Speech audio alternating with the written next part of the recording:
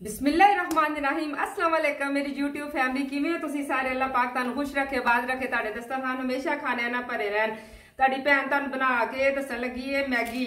ਇਹ ਜਿਹੜੀ ਸਾਰਿਆਂ ਨੂੰ ਬਣਾਉਣੀ ਆਂਦੀ ਹੋਏਗੀ, ਲੇਕਿਨ ਕਈਆਂ ਨੂੰ ਨਹੀਂ ਵੀ ਆਂਦੀ ਜਿਸ ਤਰ੍ਹਾਂ ਪਹਿਲੀ ਦਫਾ ਮੈਂ ਬਣਾਈ ਸੀ, ਮੈਨੂੰ ਆਪ ਨਹੀਂ ਸੀ ਸਮਝ ਆਈ, ਹੁਣ ਤੇ ਮਾਸ਼ਾਅੱਲਾ ਬੱਚਾ ਖਾਂਦਾ ਤੇ ਪਤਾ ਚੱਲ ਗਿਆ। ਇਹ ਬਸ ਗਰਮ ਪਾਣੀ, ਡੇਢ ਕੱਪ ਮੈਂ ਪਾਣੀ ਦੇ ਉੱਤੇ ਗਰਮ ਰੱਖਿਆ ਵੇ ਤਾਂ ਪਾਣੀ ਗਰਮ ਹੋ ਜਾਣਾ ਵੇ, ਇਹ ਪੈਕੇਟ ਜੋ ਹੈ ਚੀਜ਼ ਨਿਕਲੇਗੀ। ਸੇਵੀਆਂ ਜਿਹੀਆਂ ਇਹਦੇ ਚ ਤੋੜ ਕੇ ਪਾ ਦੇਣੀਆਂ ਨੇ। ਬਸ ਇਹ ਗਰਮ ਹੁੰਦਾ ਮੈਂ ਤੁਹਾਨੂੰ ਪਕਾ ਕੇ ਦੱਸ ਦੇ ਗਿਆ ਮਸਾਲਾ ਨਿਕਲਦਾ, ਮਸਾਲਾ ਪਾ ਦੇਣਾ ਵੇ।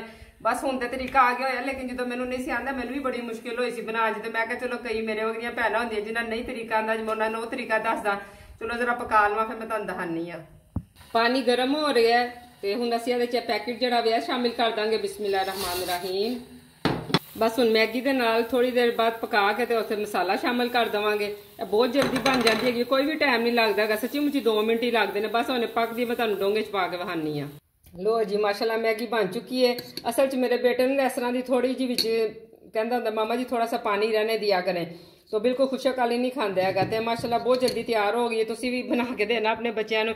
ਉਹਨਾਂ ਵਿੱਚ ਕੋਈ ਚੀਜ਼ ਸ਼ਾਮਿਲ ਨਹੀਂ ਕਰਨ ਦੇਗਾ ਉਹਨੂੰ ਬਿਲਕੁਲ ਪਲੇਨ ਮੈਗੀ ਪਸੰਦ ਹੈ ਲੋ ਫਿਰ ਮੈਂ ਮੈਗੀ ਦੇਣ ਜਾ ਰਹੀ ਹਾਂ ਉਹ ਮੈਗੀ ਖਾਂਦਾ ਵੇ, ਤੁਸੀਂ ਵੀ ਇੰਜੋਏ ਕਰੋ।